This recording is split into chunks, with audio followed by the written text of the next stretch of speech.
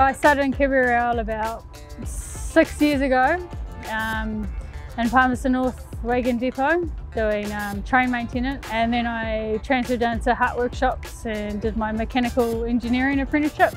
Applied for an LE role on the west coast once I finished my trade and that was a good tick off the box and um, that was a goal I wanted to reach.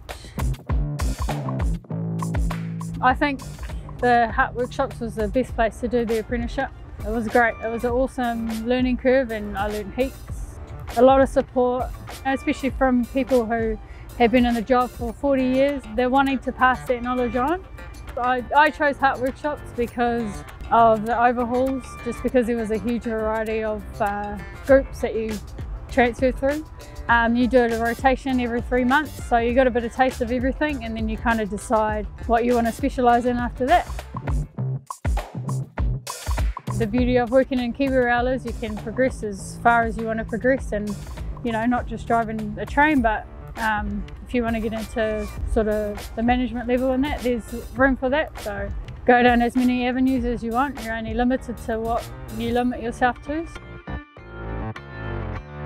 Well I like handling machinery and I like the responsibility that comes with the role. It's a good challenge, every day is different. And being outside get paid to go roaming.